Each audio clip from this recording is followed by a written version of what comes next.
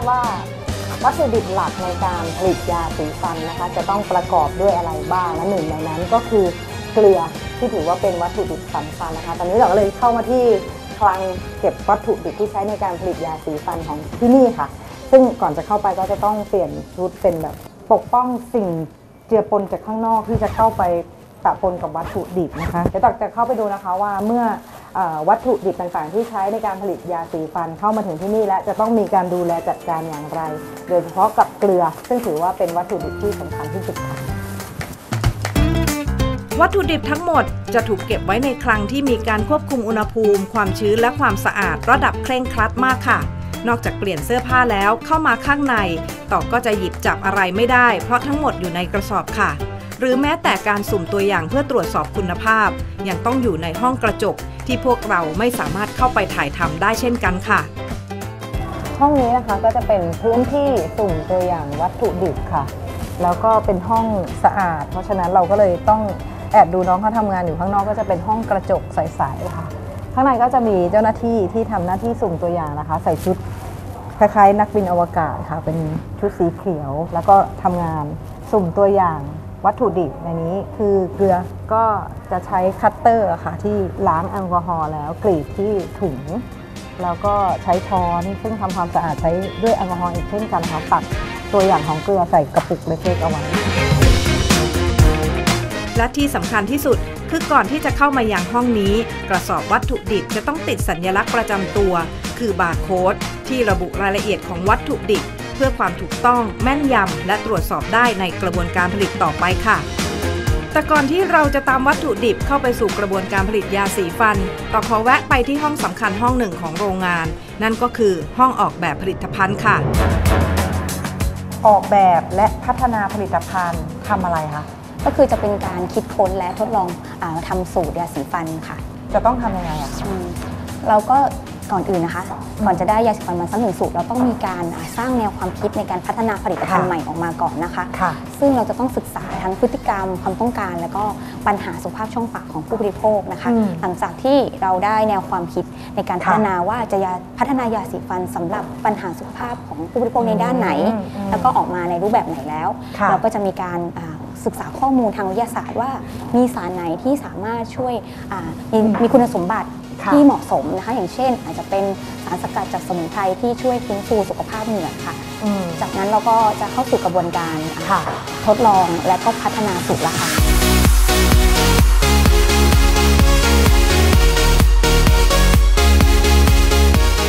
พี่ขอดูเกลือที่ใช้ทำยาสีฟันหน่อยค่ะได้ค่ะอันนี้นะคะจะเป็นหน้าตาของเกลืออมที่เราใช้ในการผลิตยาสีฟันนะคะ คือเกลือที่ใช้ในการทำยาสีฟันที่น้องเขาเอาให้ดูนะคะ จะเป็นเกลือที่แบบละเอียดมาก ละเอียดเนื้อละเอียดมากๆ แล้วก็ขาวแบบขาวจั๊วะเลยอะถึงแม้ว่าเราจะชิมมาแล้วหลายที่ เราก็ยังจะต้องชิมต่อไปเดี๋ยวดูซิว่าเกลือที่ใช้ทำยาสีฟันนี้จะเข้มเหมือนกับเกลือสมุทรหรือว่าเกลือสินเทาหรือเปล่าเป็นไงคะ อืม เกลือเนอะเกลือเนี่ยคือ คุณสมบัติสำคัญของเกลือก็คือ ไม่ว่าจะชิมเกลืออะไรเกลือที่ไหนนะคะแล้วต้องเค็มมากเค็มเหมือนกันหมด เกลือแบบนี้แตกต่างจากเกลือธรรมชาติไหมอ่าอันนี้จะแตกต่างจากเกลือสินเทาทั่วไปนะคะค่ะคือจะมีอ่าความสะอาดมากกว่าอืมความบริสุทธิ์มากกว่าค่ะจะไม่มีสิ่งแปลกปลอมเหมือนกับเกลือที่ไม่ได้ผ่านกระบวนการทำความสะอาดมาก่อนนะคะ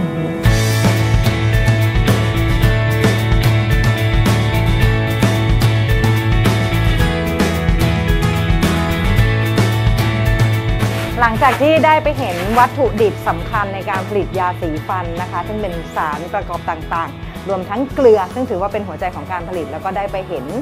ขั้นตอนของการออกแบบผลิตภัณฑ์กว่า จะเป็นยาสีฟันสักหนึ่งหลอดหรือว่าหนึ่งสูตรนั้น จะต้องมีวิธีคิดหรือหลักคิดอย่างไรบ้างนะคะ ตอนนี้แต่ว่า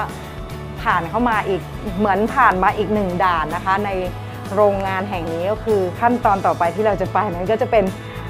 ส่วนของกระบวนการผลิตยาสีฟันแล้วค่ะแต่ว่าก่อนที่จะเข้าไปนะคะ เนื่องจากว่ายาสีฟันนี่มันเป็นผลิตภัณฑ์ที่ใช้อยู่ในช่องปากต้องสะอาดที่สุดในโลก สะอาดที่สุดใน 3 โลกเลยก็ว่าได้เพราะฉะนั้นเสื้อผ้าหน้าผมของเรา เราจะต้องปิดหมดเลย แล้วก็จะต้องไปผ่าน air shower ถึงจะผ่านเข้าไปได้ค่ะ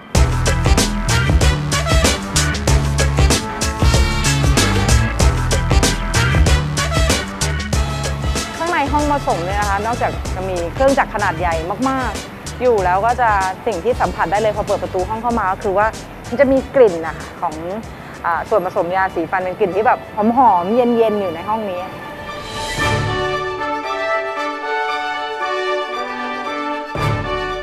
ขั้นตอนการผลิตยาสีฟันกว่าจะได้เนื้อยาสีฟันออกมาต้องทำยังไงคะเราต้องนำวัตถุดิบเนี่ยจากคลังวัตถุดิบนะครับ มาค่ะทำการจัดเตรียมอ่าการจัดเตรียมแล้วก็ ลำเลียงมายัง homo mixer ในขั้นตอนของการนำเข้าเนี่ยเราต้องมีการตรวจสอบโดยใช้บาร์โค้ดอ่านนะครับอ่าก่อนที่จะเอ่อนำเข้า homo mixer ได้เพื่อค่ะเป็นการ confirm ความถูกต้องนะครับอือหือทั้งชนิดอ่าปริมาณนะครับค่ะตามสูตรที่ได้กำหนดไว้อืมน้องบอกว่ามาตรฐานของการผลิตยาสีฟันมันจะต้องเน้นเรื่องของความสะอาดเป็นอันดับหนึ่ง เพราะฉะนั้นวัตถุดิบที่เดินทางเข้ามาที่นี่เราก็จะไม่แทบไม่ได้เห็นหรือ ไม่สามารถสัมผัสได้เลยอ่าจากนั้นเนี่ยเครื่องนี้ homo mixer ค่ะ ก็จะทำการปั่นอ่าอ่าวัตถุดิบทั้งหมดเนี่ยอืม เข้าด้วยกันนะครับ อืมโดยใช้โฮโมจ e เนซิ่งมิกเซอร์ปั่นให้เป็นเนื้อเดียวกัน โดยอืมขณะที่ปั่นเนี่ยเราก็ทำการดึงอ่าอืม อากาศออกไปด้วยค่ะ นะครับดึงอากาศออกเนี่ยเพื่อที่จะให้เนื้อยาเนี่ยมีความเนียน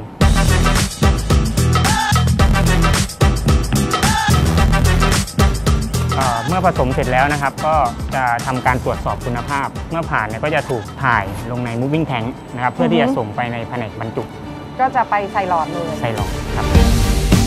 โดยเนื้อยาสีฟันนะคะ จะเข้ามาที่เครื่องบรรจุใส่หลอดแบบอัตโนมัติ โดยที่ไม่มีโอกาสได้สัมผัสกับอากาศภายนอกเลยค่ะ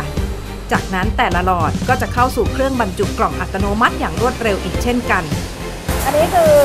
ยาสีฟันที่ผ่านกระบวนการผลิตเรียบร้อยหมดแล้วครับ ใช่ไหมคะแล้วเรารู้ได้ยังไงว่ายาสีฟันที่เราผลิตอะมันผ่านคุณภาพได้มาตรฐานที่เรากำหนดไว้เราตรวจสอบก่อนที่จะมาใส่กล่องไหมอะคะ ครับเอ่ออันดับแรกเลยเนี่ยก่อนที่เราจะนำหลอดมาบรรจุอ่ายยาเนี่ย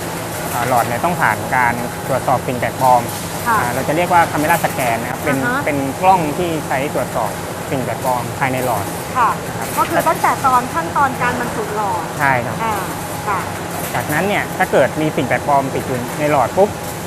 เครื่องเนี่ยจะทำการดีเจตอัตโนมัติไปเลยค่ะครับอ่าฮะอ่าก็คือออกไปจากสายการผลิตเลยนะครับ อืมเพราะฉะนั้นก็เท่ากับว่า ในขั้นตอนสุดท้ายเลย ก่อนที่จะมาอยู่ในกล่องได้อะก็จะต้องไปผ่านการตรวจสอบก่อนใส่หลอดอยู่แล้วใช่ครับหรือใส่หลอดแล้วก็ตรวจสอบ ใช่ครับถ้าไม่ได้มาตรฐานก็จะไม่ผ่านมาใส่กล่อง ใช่แล้ว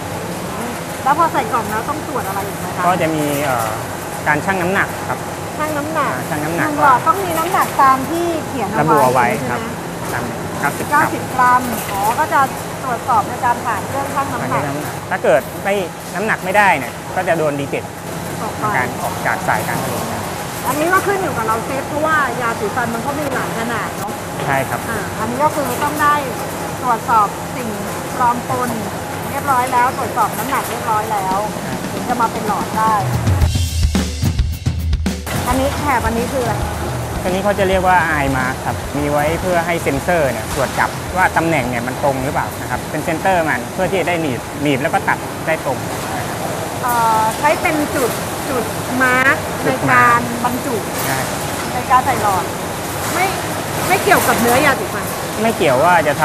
ำจากธรรมชาติหรือทำจากสารเคมีไม่เกี่ยวเลยครับ ไม่ใช่สัญลักษณ์ที่บ่งบอก คุณภาพหรือว่าคุณสมบัติของยาสีฟันเลย ไม่ใช่ครับอันนี้คือเครื่องหมายที่ใช้ในการบรรจุ บรรจุเฉยเพื่อจะให้สามารถบรรจุได้ ตรงตามต้องการครับอ๋อเมื่อบรรจุยาสีฟันใส่หลอดพลาสติกเรียบร้อยแล้ว ก็จะถูกลำเลียงไปยังสายพาน เพื่อบรรจุลงกล่องกระดาษย่อยสลายได้เช่นกัน แล้วก็ใช้คนบรรจุลงกล่องใหญ่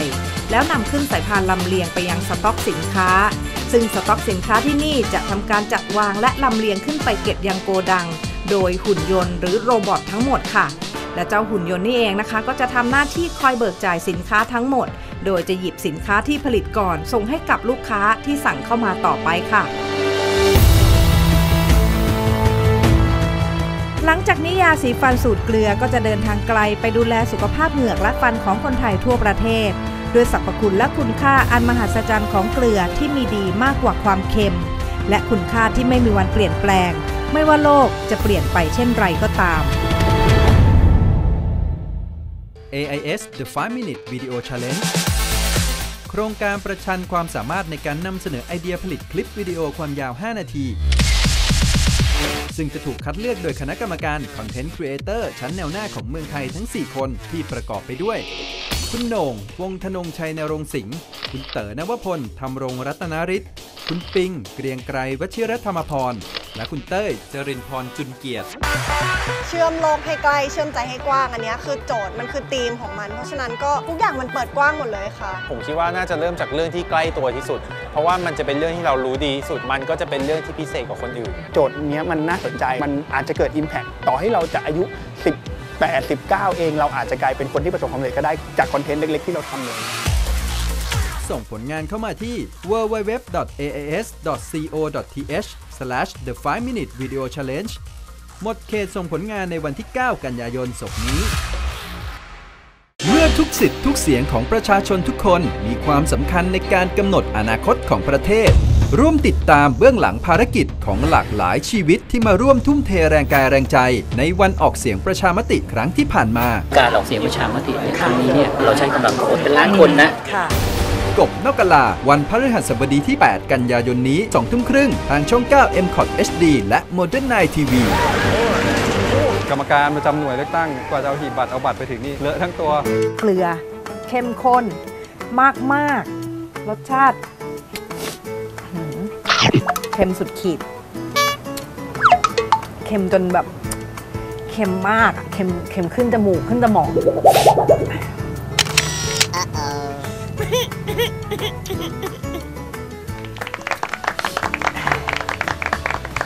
ไม่เกี่ยวกับน้ำตาไหลนะน้ำตาไหลควัน